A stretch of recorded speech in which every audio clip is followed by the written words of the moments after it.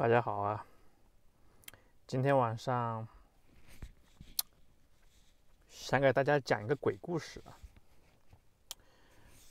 其实这个故事是我自己的亲身经历。嗯，在讲这个故事之前啊，我给大家保证，这个故事所有的模糊地带，我都不会自己去添枝加叶去补充它啊，我是还原。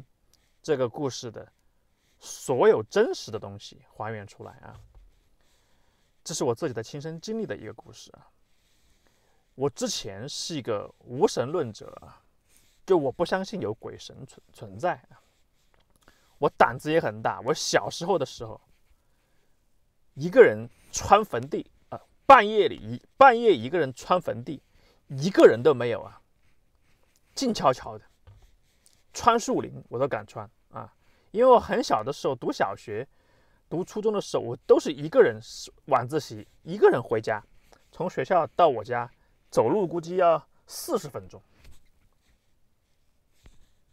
差不多哈。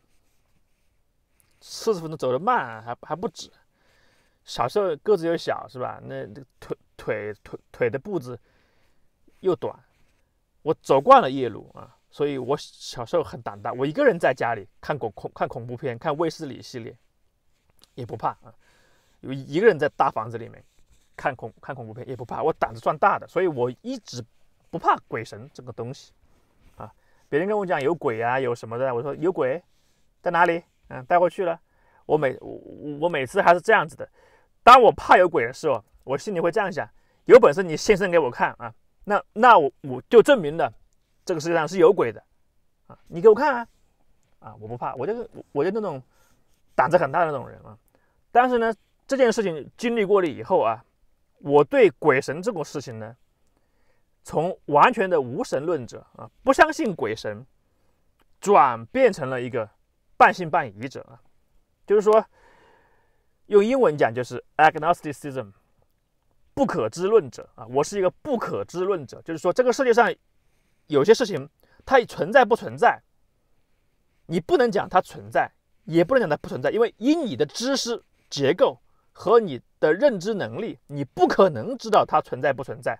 就像蚂蚁，以它的认知能力，它不可能知道还有木星这个东西存在，还有火星存在，它不可能，它永远不可能知道，这超出了它的认知范围啊。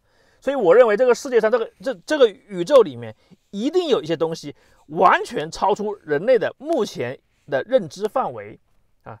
所以我不能讲它不存在，或者它存在，我只能说我不知道它存在不存在啊！我变成了一个怀疑论者。好了，我要谈这个故事啊。这故事发生在二零零七年。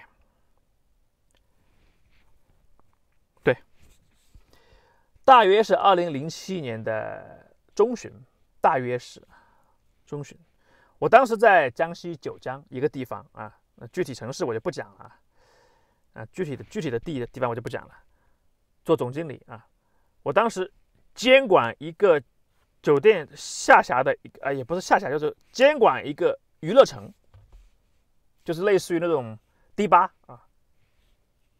我管理这个娱乐城，这个这这个娱乐城曾经很很风光的啊，后来那个总经理走了，哎，老板就说：“老板，你反正你这个酒店还是你管啊，这个娱乐城你也一起管一下。”我就想把这个娱乐城做起来啊。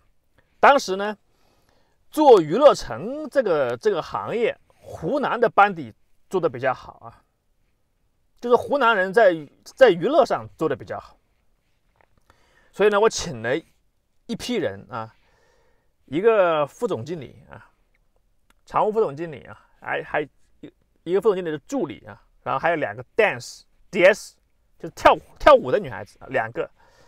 然后呢，这这这四个人从湖南过来，我当时就面临着给他们找地方住，因为他们刚来嘛，对不对啊？不不可能天天住旅馆嘛啊！你刚来第一天、第二天住旅馆可以，但是长期给他们安排一个宿舍。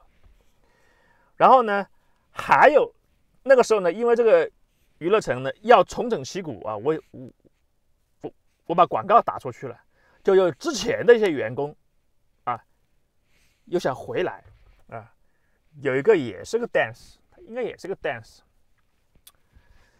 他具体是什么我现在忘记了，反正就是说，就这就就是三个女孩子，两个男孩子。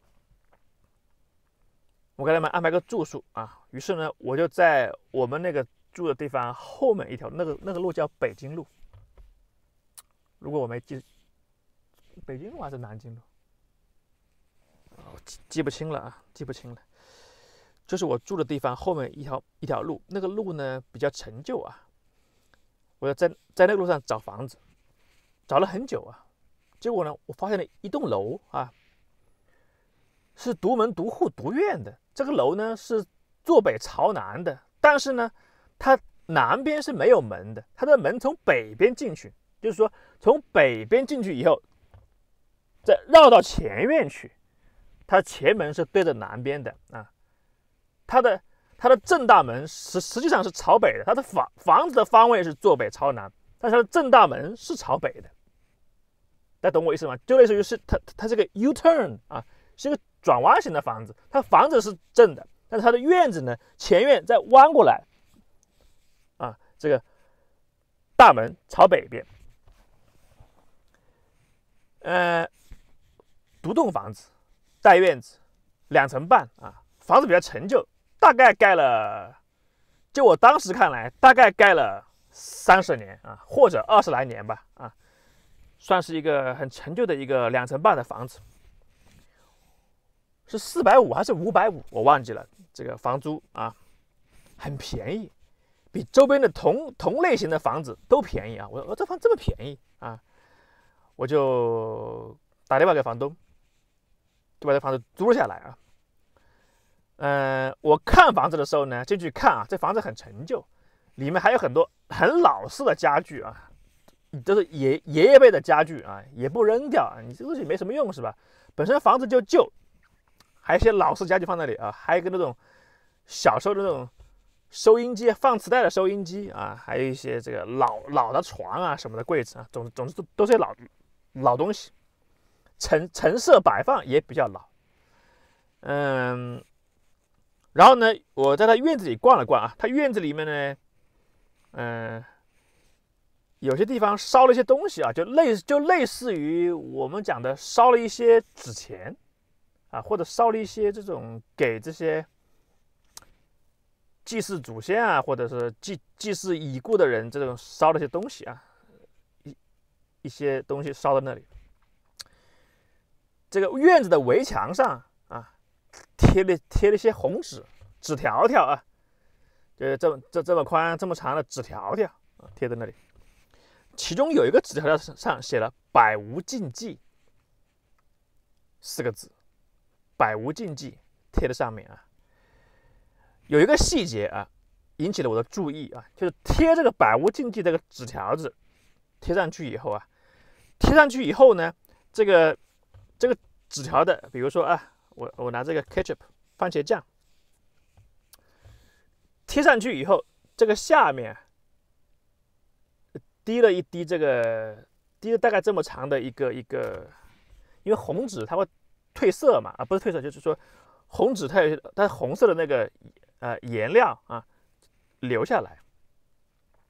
这个留下来的这个颜料呢，看起来哈不像是从纸上面留下来的，而像是从这个贴的这个墙壁的墙壁上留下来的啊，就给人感觉是里面有东西留下来，再贴了一张纸，而不是贴完纸以后有东西留下来啊。而且正常情况下，比比如说像我们在家里面贴对联哈，如果是因为下雨啊，或者是因为打湿了什么的，那个红纸褪褪色了，留一些红的一些，嗯，那些颜料下来的话，它应该那个纸上也会沾染到啊，然后它留的留的地方呢，那个纸应该也也褪了色才对。但是那张红纸贴上去，那个纸是完整的，那个纸的红纸没有任何地方褪色啊，只有那个地方。滴滴滴滴下来，就看样子，就看起来像，就看起来不像这个滴的这个东西是从红纸上滴出来的，就类似于里面有有东西在滴一滴东西出来，被红纸被一个被一个百无禁忌贴住一样啊，这是个小细节。呃，因为当时我很着急要给这些人租房子，所以呢，我就没有太过于去去看这个东西啊，因为这个烧点东西很正常啊，贴个百无禁忌，贴个吉祥如意，这个东西也很正常，也没什么，也没必要多想啊。本身我是一个无神论者，更没有去想往往往深处想，也没有想啊，我就告诉他们给你们租房子了啊，让他们搬进去啊，他们就搬进去了。呃，搬进去了以后，我都忘记了是第几天啊。很快啊，就几天时间，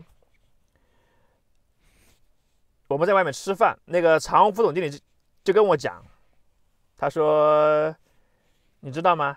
那个那个 dance 有一个叫小雅，还有一个叫什么忘记了。”他说：“小雅他们搬出来了。”，我说啊。我说我我说搬出来干嘛？他说你不知道啊。我说我不知道啊。他说我以为你知道呢。我说我不知道啊。我说他们为什么搬出来？说那房子不干净啊。我说不干净是什么意思？不干净打扫嘛。他说不是，那房子有问题。啊，我当时就，嘿，我当时就，我我当时心里就就想，反正我已经做。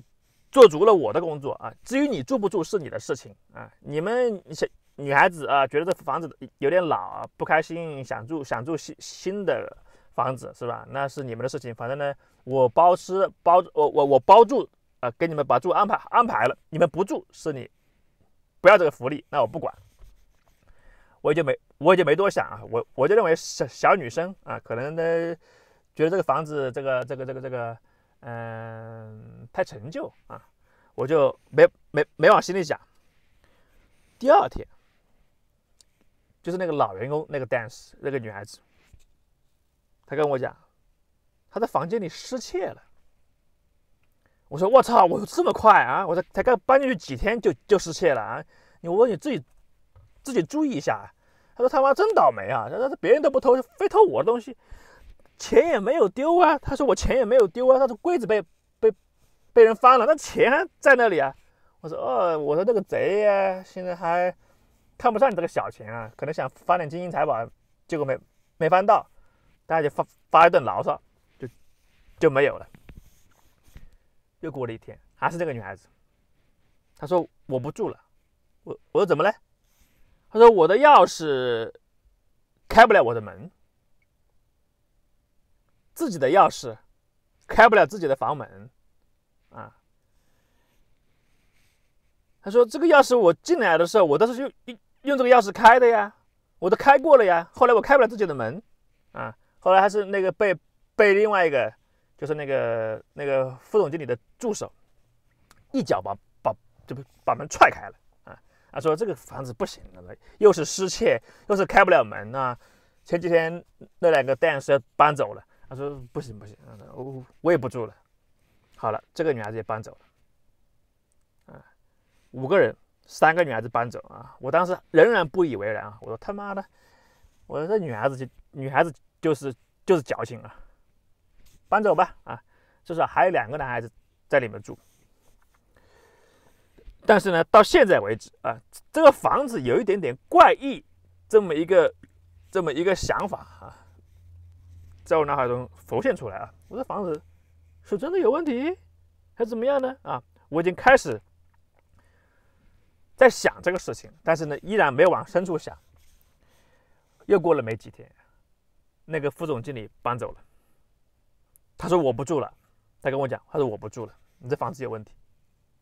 我说你别，我说你别跟他们一起起哄了。我说你是男的你也起哄，女孩子很多名堂金是吧？你这个男的你你。你也起哄，他说真的，你这个房子有问题，啊，好，当我问他，我说什么问题？你说，他说我不说，我不说，我不说，反正我不住了，啊，他就搬走了。最后剩一个人，就是那个副总经理的助手，他姓蔡，啊，我跟他现在还有联系，湖南人，个子不高的浓眉大眼，他胆子很大，他说。我是不知道他们讲什么房子脏，我是我是不知道，我我我没事啊，他在那住，结果他一个人住那一栋楼啊。他说他们走了好啊，那我一个人住，呃，也不受人打扰。我说是，我说你别跟他们一样的啊，疑神疑鬼的。那这个房子就给你一个人住了，什么时候我也不给你搬过去好了啊，给你们给你做个伴。然后呢，这个这个整个从从他们搬进去到最后啊，事事情的最后，中间也不过是一个礼拜的事情啊，这是一个礼拜之内陆续发生的。最后这个姓蔡的啊，我叫他小蔡，也搬走了。第二天早上找我，他跟我讲，我是半夜里出来的。我说你怎么半夜出来了？他说半夜里我起来上个厕所，然后呢回到床回到我的房间里睡觉。啊，我迷迷糊糊中我感觉隔壁有人说话。他说不可能啊，隔壁都搬走了呀，没有人呢，怎么会有人说话呢？啊，他。他觉得自己是没听清还是怎么样啊？他就 他就 嗯嗯嗯这样咳一下，让自己知道是自己是清醒的，然后然后顺便把声音咳出来，看自己能不能听见。咳完以后，好了，隔壁没有声音了。啊，他他他说是不是我听错了怎么的？啊，好吧，那我继续睡吧。准备睡的时候，旁边又开始说说话，聊天。他吓得他他他他确信他这一次。又听到了有人说话，他确信旁边是隔壁是没有人的，啊，他吓得就什么也没拿，钱包也没拿，钥匙也没拿，手机也没拿，就从二楼穿个拖鞋就跑下来，推开门，推开院子就就出去了啊。第二天白天让那个财务副总经理陪他回去拿手机，拿钱吧，啊，他说我不住了，那房子真的有问题。到这个人离开为止，我为这五个人租的房子，所有所有的五个人都搬出去了。听他们讲完所有的故事以后啊，我觉得我我才联想到当时我看的那个百无禁忌啊，我就想一个正常的人家里干嘛要贴百无禁忌呢啊？而且贴的东西那么怪异啊，贴上去像后面滴滴滴血滴出来一样的啊。我到现在为止，我都没有去添加任何的故事情节啊！这个所有的这个东西都是我，都是我当时真实发生的事情。然后他们都都在讲啊，那个地方有问题，这房子有问题！我说你们，我当时还是嘴上还是说哈，我说你们编故事编的太离奇了啊！嗯，我辜负了我一片好意啊，帮你们租帮你们租房子。啊！你们现在居然全部搬出来啊！你现在房子空在那里，你叫我是怎么搞啊？退掉还是不退掉啊？他说他他说你你要不信的话，你你去住啊。然后然后他他说这个房子你有没有仔细的打量过啊？我说我我也没仔细打量，我租的时候我我就看了一眼，还可以就可以了。他说你去看一下吧。我走吧，我们去看吧。然后呢，白天啊，大白天的时候。我我不记得是上午还是下午，反正大白天的时候，他们就陪我一起去啊，男孩子女孩子都有陪我一起去，嗯，这个时候啊，进那个房子的院子啊，我就我就才想起这个房子为什么这么便宜啊？它的朝向不好啊，这是个老房子啊，然后呢又贴了个百无禁忌啊，当时呢我又看见那个房子里面烧了点东西，所有的这一切。啊，以及以及他们都陆续搬走，所有这一切全部联想起来，不免让我再次看这个房子的时候，可能我内心就已经就感觉到这个房子可能有点异样了。然后呢，到了那个房子，到了院子里面啊，他说：“你你去看吧，我们在下面等你。”我说：“你们胆小鬼啊，大白天的怕怕什么？”我就进去看了，一楼。我当时租房子的时候啊，并没有每间房每间房仔细看清楚，我就看了一栋楼嘛，是吧？有有有几个房间，我数了一下，瞄了一眼就租下来了啊。因为因为因因因为不是我住然后然后我进去啊，他们在院子里说话，等我啊，我进去。一楼啊，依然是那种陈，嗯，很陈旧的那种，那个陈列就类似于八十年代、七十年代的陈列，房子的陈列啊，以及一些家具，墙壁也是老的，漆也没有，有些漆也掉了啊，这个是抹的石灰，有些有些也发霉了啊，这房子确实是不太好。一楼一间房一一间房看没问题呀啊，哪里有鬼？你们不是怕鬼吗？哪里有鬼啊？没有啊啊，然后我就去二楼。二楼上去呢，二楼楼梯上去，到了二楼以后呢是三个房间啊，它二楼是没有，好像是没有厅的，是有厅还是没有厅？反正反正是三个房间门，三个房间还是四个房间？三个房间门，三个房间四个房间，它的格局是，对，四个房间门，我。上去以后啊，我就一个房间一个房间看啊，按顺序来啊。打开房间看啊，没东西啊。再打开房间进去转一圈，没东西啊啊。有有什么东西？是不是？然后呢，在第三个房间打打开房间看，没东西啊啊。你们这些人装神弄鬼啊。那打打然后打开第四个房间，没东西啊啊，关上。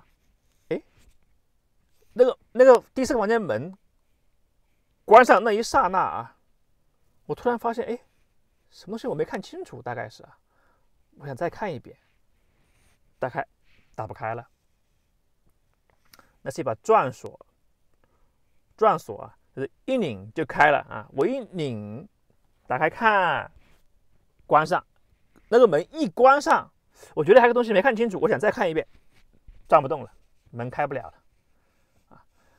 我当时那个门开不了了，我就立马想起那个那个老员工，他自己的钥匙开不了自己的锁，啊，想起那个事情，跟这个事情联想起来啊，与其说我是害怕呢，不如说我是把那个害怕的情绪转成了愤怒，啊，好好的就开不了锁，我就拧啊拧啊拧啊拧，一直到拧拧拧，妈的，我我就踢一下这个门，啊，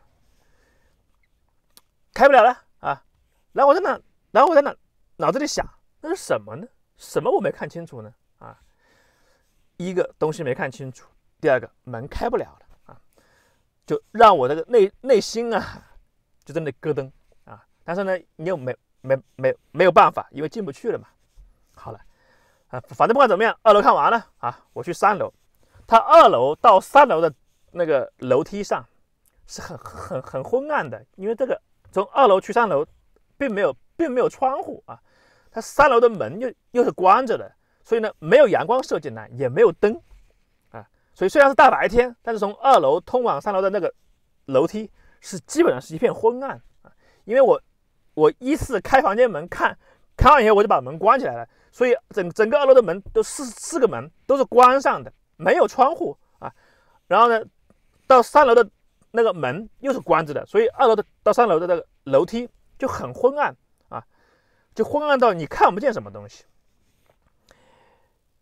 这个时候呢，因为我一楼看完了，二楼也看完了嘛，我再去三楼啊，我就往三楼走。这个楼梯是这样的嘛啊，上去再上，楼梯都是那种常规的楼梯嘛。我走走走走，走到二楼到三楼中间那个地方的时候，嘣，我踢到一个东西啊。就是有什么东西挡住了我的路，砰！我一踢，我我我一想，这可能是一个沙发，或者是一个什么木木箱子，就类似于这种东西挡在这里，啊！一踢，也本身我就在想那个东西是什么，我没有看清楚啊。然后呢，锁又打不开，然后呢，这个东西又很昏暗啊，整个那个氛围啊，就让我觉得就有点小小担忧、小小担心、小害怕。结果走路走得好的还踢还踢到一个东西，我非常把所有的情绪全部变成了愤怒啊！我就什么鬼东西挡这里啊！我就用力一踢，就把那个沙发还是什么东西，我到现在为止我都不知道是什么东西啊！我就用力一踢，砰！踢一下。这个时候从二楼，可能就是我开的那个门的那个方向，传来一个声音：“谁？”我猛然回头一看，什么也没有，安安静静啊，什么也没有。那个时候，我浑身的汗毛孔全部竖起来，我头发都全部竖起来了，撑撑着我的衣服。啊，那个时候我真的是被那句“谁”吓得我浑身汗毛全部全部撑起来。我往回头一看，没有任何东西啊。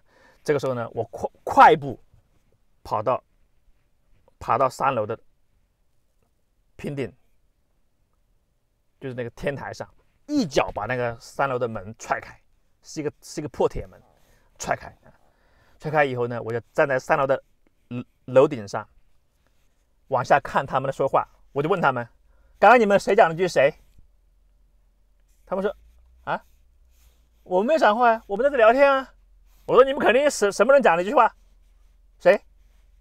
他说：“我们真的没有讲话呀，我们在聊天啊。”你他说：“你是不是见鬼了？”我啊，他们就是就是那种很很很很平常的心态啊，就跟我讲：“哎，你你是不是见鬼了？”我。我当时自己也知道，这个声音不太可能是从外面出来的啊，而且那声音那么清晰的从二楼发出来，不是从院子里发出来啊，而且而且不是那种我我一踢东西马上发出来的声音，我自己内心也知道不可能是他们发出来的，但我呢又是一个不信鬼神的人，我只能认为，既然有声音，那肯定是人发出来的，既然是人，那这屋子里没有人，那那肯定是你们呢，啊，我就是我就就这么推测，虽然我内心也知道这样推定。不对，声音来源不是那里。然后呢，我也我也就没有多问，就让这个三楼的门开着，让阳光射进来，好能能让我看见怎么下二楼。我就直接下二楼，下一楼，跟他们讲，走吧，我们退房吧。到目前为止啊，这是我经历的完整的故事。到现在为止，我没有看见什么东西啊，我只是听见了一个异常的声音。从二楼发出来。退房的时候，那个房东，我跟房东讲，我说房东，我房租也付了，啊，押金我也付了，我都不要了，因为是我违约了嘛，我不租了嘛，啊。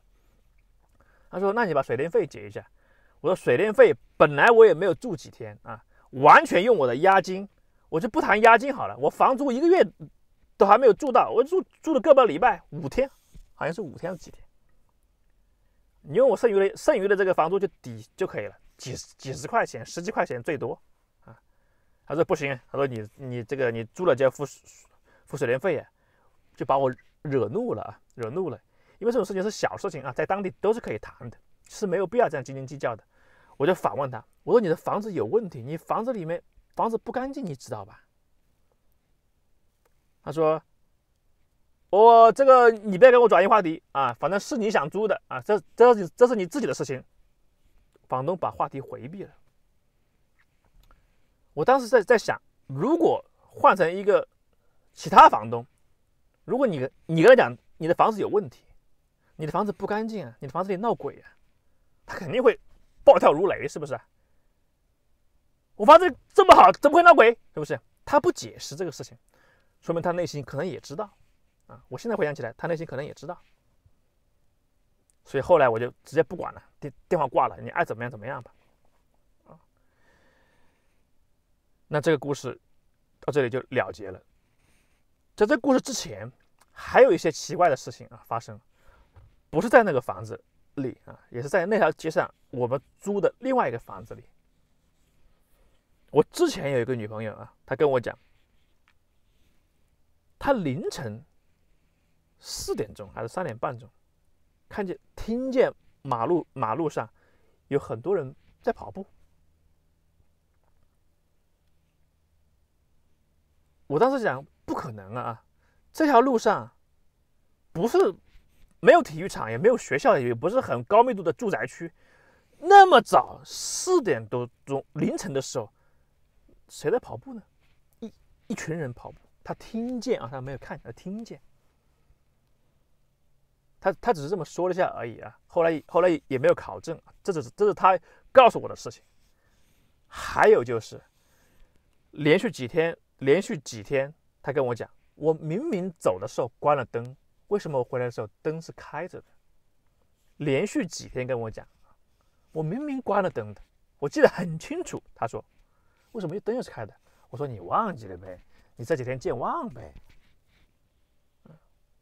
其实这些事情哈，本来如如果是一个孤立事件的话，其实都不需要拿出来提，都是小事情啊，忘记关灯哈。但是呢，和这个事情联系起来啊，我就会想，这这会不会是同一个事情？当时他就说，是不是你把那那那那里的鬼带回来了，带到这里来了？还有一次是，我在那里好好好好的啊，我在房间里好好的，他洗完澡。一脸的这个红啊，红彤彤啊，甚非常愤怒的讲：“我说你怎么了？”他说：“我喊你这么多遍，你都听不见吗？”我说：“你喊了我吗？”他说：“我我也撕心裂肺的在喊你，你都听不见吗？”我说：“我没有听见啊。”他说：“这里不对劲。”他说：“撕心裂肺。”他说他在洗，他他说他洗完澡要出来，打不开门，还在洗手间里面。打不开门啊！我们只只只听过在外面打开门进去进去了，他大老板出来，打不开门出来，一直打不开门出来，他就喊我喊我，我听不见，他用尽嗓门喊我，我听不见，我完全听不见。他说他说你为什么听不见呢？这个门打不开呀！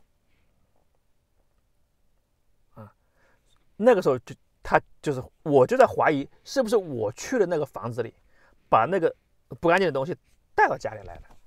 啊所以这一这一连串事情串起来，我始终在脑海里记得，啊，我是一个不怕鬼的人，但是这个事情改变了我对未知东西的看法。好了，以上故事啊，都是我完完全全的真实的一个经历啊，我不是在传播鬼神论啊，我也不是说。我也我也不想企图说我真的看见鬼了，我没有看见鬼，没有看见，只这串这只是这一串奇怪的事情发生在那一年的那个地方。好了，如果大家嗯有什么想法，欢迎留言，拜拜。